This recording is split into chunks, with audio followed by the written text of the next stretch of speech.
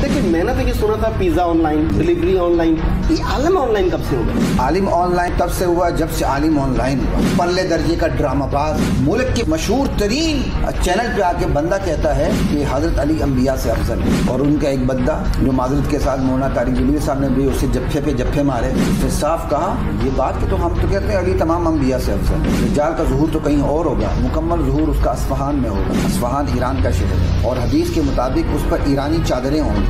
उम्मत मुस्लिमा के अंदर इतिहाद का वाहिद वाहिद और वाहिद अकेला हल यही है कि आप फ्रू इख्तलाफात में ना पड़े।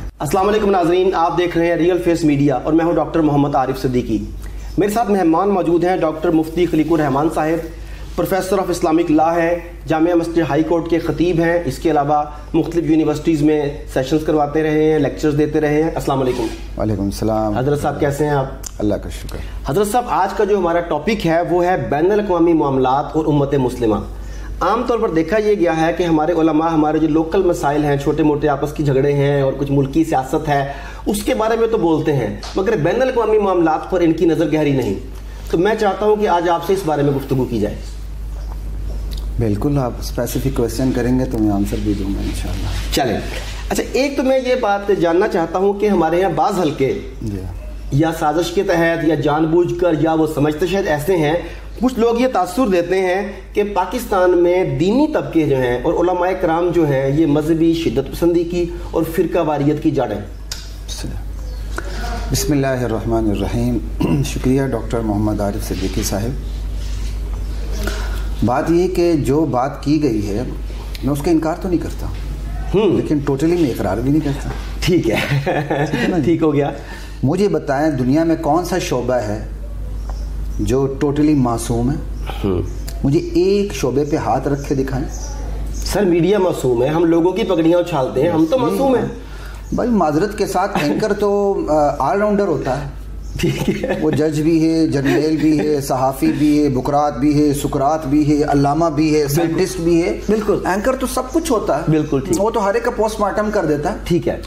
वो तो पूरी दुनिया को अब पता है। ठीक है। तो जर्द सहाफत जैसे जैसे मजीद खुलती जाएगी बेनकाब होती जाएगी बेपर्दा और बेहिजाब होती चली जाएगी। बिल्कुल। तो ये चीज़ें तो खुल के सामने आएँगी। इंशाल्लाह एक वक्त आएगा कि ये सारा हिजाब उठेगा और नीचे इंशाल्लाह फिर सोने जवाहरात ही बचेंगे ऊपर जो खस खाशा के वो सारे ख़त्म हो जाएँगे। इन उम्मीद अच्छी होनी चाहिए। जहाँ तक बात है शिद्दत पसंद है और अपने फरूई मसा अपने मसाइल में ये ज़्यादा शिद्दत पसंदी दिखाते हैं तो मुझे इसका इकरार है। मैं इसके दो तीन पहलू से बात करूँगा। पहली बात यह कि उन की कोई कमी नहीं जो कौमी मसाइल पर बात करते हैं बिन अवी मसाइल पर बात करते हैं। अपने फ्रूई मसाइल को छेड़ते नहीं हैं और अपने उसूली मसाइल में इंतहाई रासिकुलकीदा हैं। कोई कमी नहीं। ठीक है। लेकिन सवाल ये कि आप उनको स्क्रीन पर लाते क्यों नहीं? वेरी इंपॉर्टेंट क्वेश्चन आप उनको स्क्रीन पर लाते क्यों नहीं? आपको ऐसे लोग चाहिए जो या पैसे दे के खुद स्क्रीन पे आए। आपको ऐसे लोग चाहिए जो टेप रिकॉर्डर हों। प्रोड्यूसर जैसे कहें। जैसे करें। चैनल की जो पॉलिसी हो उसके मुताबिक वो बात करें। चाहे उनके अंदर की बात ना हो। मैं एक मशहूर चैनल में मेरा प्रोग्राम था। उसमें मुल्क के बड़े अच्छे लेवल के लोग थे। डिबेट भी हुई अल्लाह का शुक्र है। डिबेट के बाद एक खातून थी जो अपनी रख अपने रख रखाव में अपने लिबास में अपनी वज़ाकता में इंतहाई मॉड थी। लेकिन जैसे ही प्रोग्राम ख़त्म हुआ और उनके साथ मेरा वो शायद दूसरा प्रोग्राम था लेकिन उस चैनल पे पहला प्रोग्राम था। जैसे ही मेरा प्रोग्राम ख़त्म हुआ हम बाहर गए तो मैंने उनसे माजरत की। मैंने कहा मैडम मैं माजरत मेरी तरफ़ से अगर आपको मेरी कोई बात बुरी लगी हो उनका जवाब मेरे लिए इंतहाई ताजुब खेज और हैरत अंगेज था। उसने कहा जी आप क्यों माजरत करेंगे? उसने कहा हमें तो जो कहा जाता है हम वो बोलते हैं। आप तो हकीकत की अंदर की दिल की बात करते हैं। हक की बात करते हैं बिल्कुल ठीक है। और उन्होंने खुल खुला के मेरे साथ बात की और मुझे अप्रिशिएट किया। मैं हैरान होकर रह गया कि अंदर मौसूफा क्या बात कर रही थी? और अब क्या कर रही हैं? और अब क्या कर रही हैं? बात यह है कि उन उलमा की कोई कमी नहीं। लेकिन दूसरी बात यह है कि उन लोगों की भी कोई कमी नहीं। जो फ्री मसाइल को छेड़ते हैं अपनी अना का मसाला बनाते हैं तो हम उनके हक में कभी भी नहीं रहे। ठीक है अच्छा आपके सवाल के साथ एक सवाल जहन में आ रहा है। जी जी। ये जो आपने भी बताया कि वो खातून ने कहा कि हमें पैसे मिलते हैं और ये सारा नहीं पैसे मिलते उन्होंने ये नहीं जो कहा। गया मतलब है कि जो कहा गया यूँ हाँ कह ले चले तो ये असल में जो पाकिस्तान मुखालिफ मगरबी एजेंडा जो है इसका जवाब कैसे दिया जा सकता है? देखिए जी पाकिस्तान मुखालिफ मगरबी एजेंडे के जवाब जो है उसके भी कई पहलू हैं। एक तो ये है कि आप अपनी अना की कुर्बानी दे के उन लोगों को सामने लाएँ जो जवाब दे सकते हैं। हम्म। लेकिन अगर आपको स्टेज पर लाते हुए मेरी अना मारी जाती है मेरी शोहरत दाव पे लगती है तो मेरा सबसे बड़ा मसला है कि मैं आपको स्क्रीन पे नहीं देखना चाहता। देखिए मेरा क्या ताल्लुक? मैं तो टीवी पे होस्ट हूँ मेजबान हूँ तो आप आए या mister X mister Y Z आए मेरी तो उसमें नहीं आनी चाहिए। किसी का ताल्लुक नहीं होगा किसी का ज़रूर होगा। अच्छा। ठीक है जी? ठीक है। इसके अलावा भी बहुत सी बातें हैं। जो आपकी पैमरा की पॉलिसी हैं जो आपकी मुल्की रियासती पॉलिसी हैं जो आपकी वतनी पॉलिसी हैं वो इस चीज़ को बर्दाश्त ही नहीं करती। कि यहाँ आके खुल खुला के आप रियलिस्टिक होके बोले। हमारे मिजाज में डॉक्टर साहब मुनाफकत रची बसी हुई है और इस हद तक रची बसी हुई है। हमने उस मुनाफकत को सियासत पॉलिसी डिप्लोमेसी का नाम दे रखा है। हम समझ रहे हैं हम दुनिया की सबसे होशियार तरीन कौम है। हम दुनिया को डील करना जानते हैं। वो डील करना नहीं जानते हैं। वो हमने दुनिया के लिए दस चेहरे रखे हुए हैं। हर एक के लिए अपना अलग चेहरा रखा हुआ है। वो ऐसी आदत बन गई है कुरान करीम में आता है जुयन लहुम सुआमालिहिम के गुनागारों का एक ऐसा वक्त भी आ जाता है उनके बुरे अमाल उनके लिए खुशनुमा बना दिए जाते हैं। बिल्कुल। हमारे लिए ये कि हमारे लिए बुरे अमाल खुशनुमा बना दिए गए हैं। हम तोल तोल के और ढूंढ ढूंढ के उन इस्लामिक स्कॉलर्स को सामने लाने की कोशिश करते हैं। अव्वल तो उनके अंदर नॉलेज ही ना हो। हम्म। एक बला दर्जे के भोंगे हों। हम्म। तीसरे नंबर उनको बोलना भी ना आता हो। चौथे नंबर पर वो मेरी और आपकी मर्ज़ी के मुताबिक जो कहा जा रहा है उसको बोलें। पांचवा ये है कि अगर उसूल पे भी कोई जद पड़ती है तो हमें कोई परवाह नहीं होती कि जद पड़ती है। खुद मेरे साथ ऐसे प्रोग्राम हुए हम्म, कि सामने इस्लामिक स्कॉलर बैठे हुए हैं और उनको बोलना चाहिए। लेकिन वो नहीं बोले। बल्कि एक दफ़ा ऐसा हुआ कि एक प्रोग्राम हुआ उसमें एक बंदे ने नवजुबिल्ला नवजुबिल्ला फतेह मक्के के बाद मुसलमान होने वाले सहाबा को ऊपर कुफर का फतवा लगा दिया। अच्छा। उसने कहा जी ये सारे तो मुनाफिकीन थे दिल से ईमान ही नहीं लाए थे। और दो दिन पहले उस चैनल ने वो रमज़ान की ट्रांसमिशन थी आज से दो तीन साल पहले। ट्रांसमिशन वालों के साथ हमेशा उनका मेरा रबता रहता था। उन्होंने मुझसे उसी प्रोग्राम में शरीक होने के लिए मुझसे वक्त मांगा। मैं ना दे सका क्योंकि एक तो मैं तरावियाँ पढ़ा रहा था। मैं कि यार मुझसे आप ना बीस रमज़ान के बाद रबता कर लें मैं देख लूँगा उस वक़्त। तो जब मैंने एक दो दिन बाद वो प्रोग्राम देखा, तो मैंने अपने आप को मुजरिम तस्वुर किया। हम्म। कि काश मैं हाँ कर लेता तो जिसने देने के काबिल होते हैं अल्हम्दुलिल्लाह। अव्वल तो वो ना आता आता ज़रूर तो इनशाला शटअप नहीं। मैं बड़ी बात नहीं करता अल्लाह जलाल की कसम इनशाला उसको हिम्मत ही ना होती।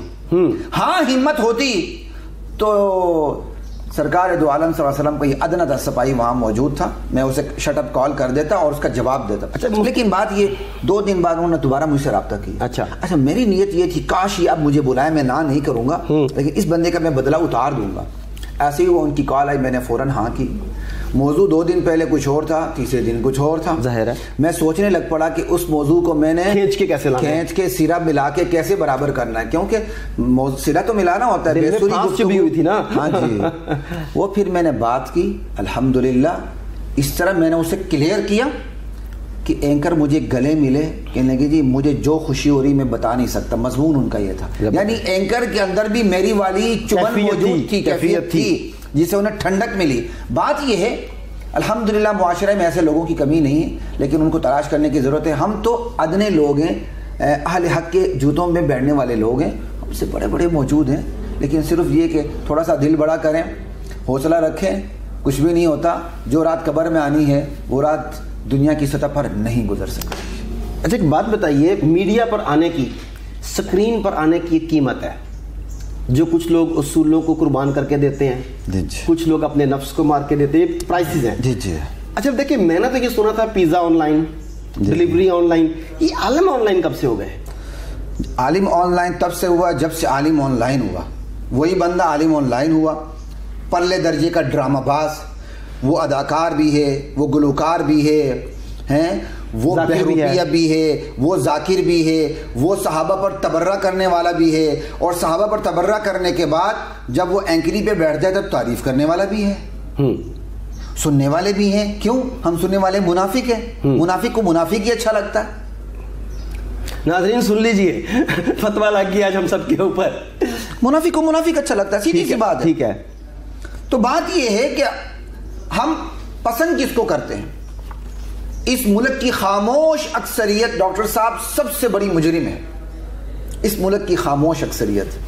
बुराई इसलिए नहीं फैलती कि उसके अंदर कोई ऐसी कशिश और ताकत होती है क्योंकि लोग कबूल करते चले जाएँ। नहीं, बुराई इसलिए फैलती है कि जो खामोश अक्सरियत जो उस बुराई पे अमल नहीं करती, वो अपना फरीज़ा अदा नहीं करती। बुराई इसलिए फैलती इसलिए फैलती है। बंदर इसलिए बनते हैं लोग फिर। अच्छा डॉक्टर साहब आज के इस मुख्तर सेशन का आखिरी सवाल आपसे ये पूछना चाहता हूँ कि आपके ख्याल में मुस्लिम ममालिक के इतिहाद में पाकिस्तान कोई रोल प्ले कर सकता है? अगर है तो वो क्या है? बसमीम क्यों नहीं कर सकता जी? हमारा अल्हम्दुलिल्लाह मैं समझता हूँ कि इस पूरे कुरे अस पर तीन बड़े ममालिक और उसमें सर फहरिस्त हम हैं।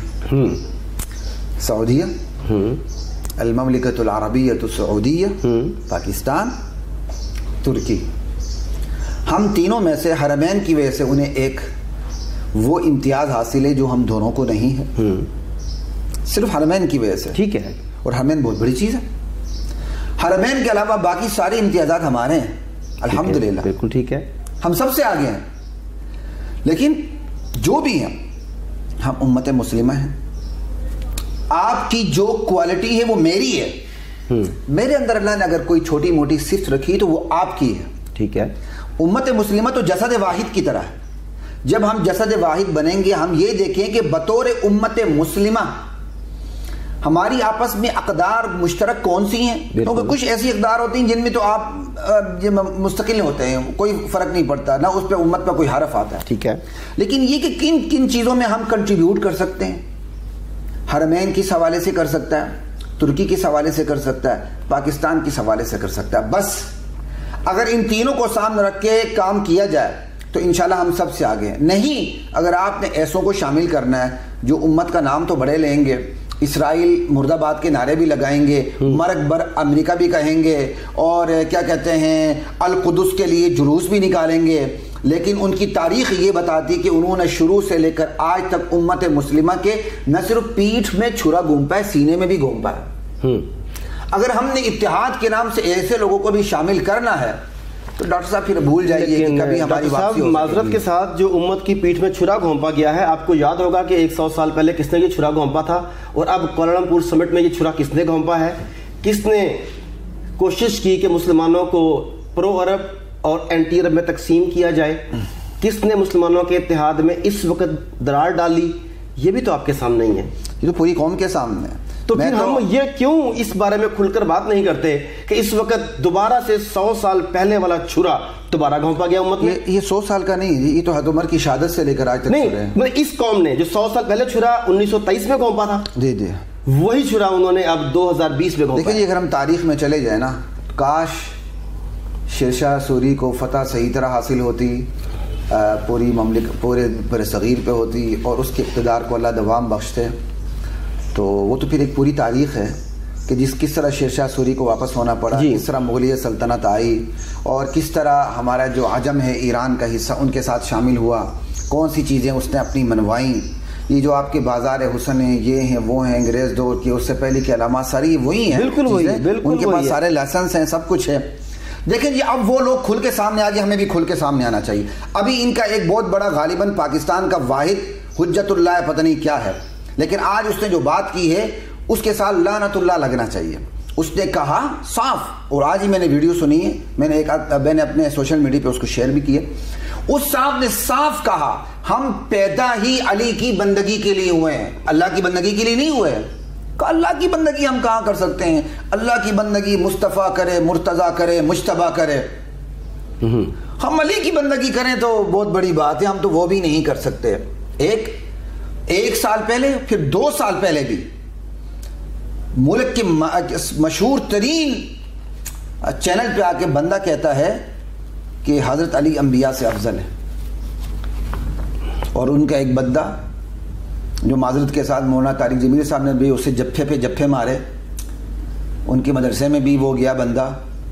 उसने साफ़ कहा, ये बात कि तो हम तो कहते हैं, अली तमाम अम्बिया से अफजल हैं। तो बात क्या रह गई?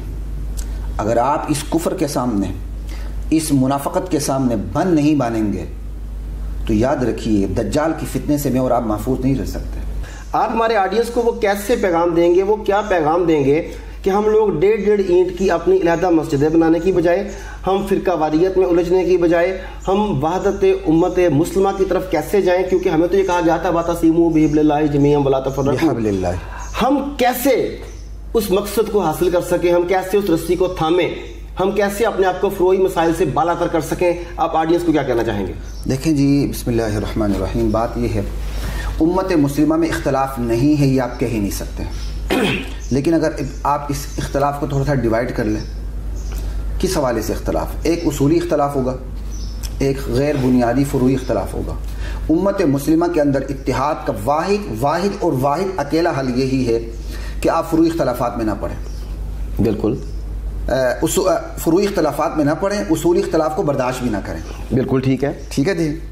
जब आप पहली बात सारे करते हैं दूसरी बात कोई नहीं करता। हाँ जी उसूली इख्तलाफ को बर्दाश्त ही ना करें। हम्म। ठीक है जी? पहली बात। फ्रूई इख्तलाफ को आप बिल्कुल नज़रअंदाज कर दें। कुछ नहीं होता आप आमीन ज़ोर से कहते हैं मैं आस्था कहता हूँ। ठीक है।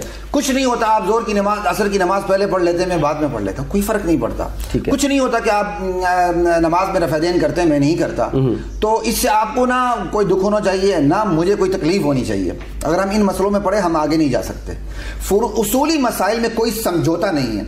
जब हम ये एक लाइन लगा देंगे ना तो ये लाइन इतनी बड़ी लाइन लग जाएगी कि इसमें वो लोग सबसे पहले जो असहाब रसूल का इनकार करते हैं, उन पर सबो शतम करते हैं, उन पर तबर्रा करते हैं, वो एक ही लाइन से अलहदा हो जाएँगे। आप उनको मैं अभी भी कहता हूँ, हमेशा ऐसे लोगों को बाउंड्री से रख के बात करें।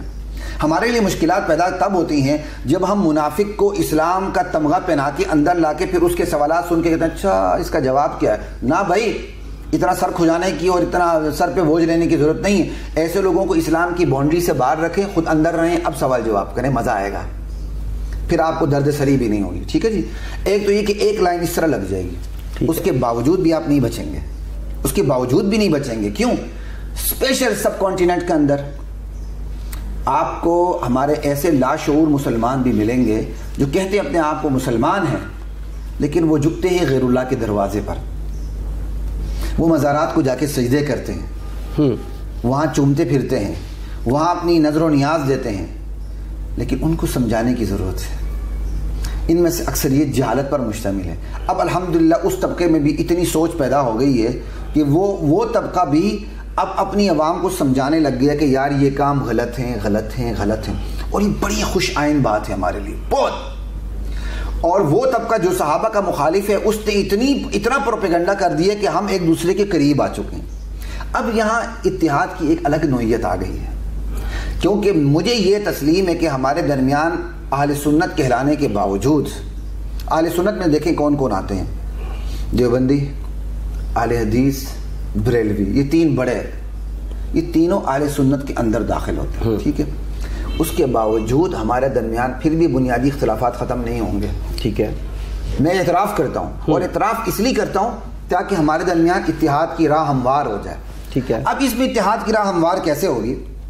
हम आल सुन्नत के अंदर रहते हुए मुश्तर एजेंडे पे आ जाए छोटी सी बात करता हूँ। हमारा आपस में कोई भी इख्तलाफ होगा अकायद के अलावा कुछ इबादत पे होगा। हमारा मामलात में कोई इख्तलाफ नहीं आपस में। हम्म, बिल्कुल। ठीक है? बिल्कुल। हमारा रियासती कवानी में देवबंदी बरेलवी अलदीस कोई इख्तलाफ नहीं। हमारे फैमिली लॉज में अगर थोड़ा बहुत इख्तलाफ है आप आलदीस हैं तो आप जज को पहले ही कह दें। मेरा इस फिका के मुताबिक फैसला किया जाए। जी जी। मैं अगर किसी मसलक से ताल्लुक रखता हूँ हनफी हूँ कुछ हूँ। मैं कहूँगा जी मेरे हनफी लॉ के मुताबिक जो पर्सनल लॉ उसके मुताबिक फैसला कोई आज से पहले ऐसा होता रहा? कोई फ़र्क नहीं पड़ता। अब आप अपने मुश्तर एजेंडे पे आ जाए। मुश्तर एजेंडा क्या है?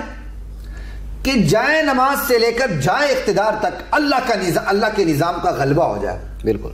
बाकी हम कभी भी ये रटना लगाए हमारे दरमियान इख्तलाफ नहीं है। लेकिन उस इख्तलाफ को आप गाली से महदूद करते हुए जो लामहदूद हो चुकी है गाली तक उसको महदूद करते हुए दलील तक चले सतह तक लाया जाए ना। आप अपने मिंबर पर अपने दलील बयान करें। जब हम मैं और आप इकट्ठे हों तो उसको हम डिस्कस ही ना करें।